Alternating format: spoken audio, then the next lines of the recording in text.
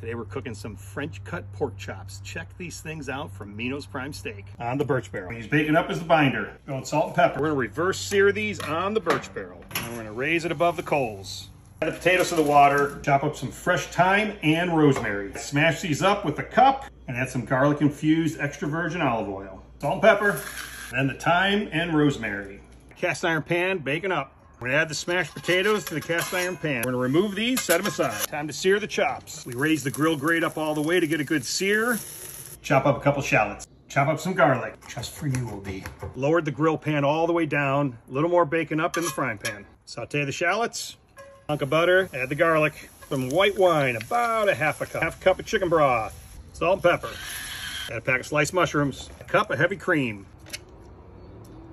We're ready paired with a nice cab. I love pork fat. Are you kidding me?